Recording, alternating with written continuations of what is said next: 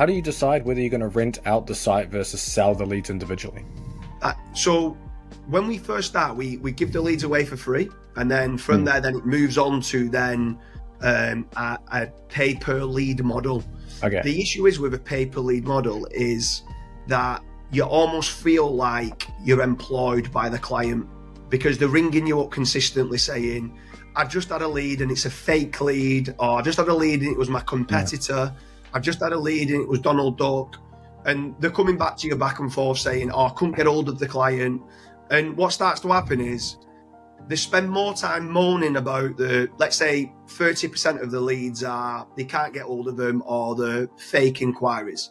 They spend more time worrying about the 30% of bad inquiries than the 70% of good.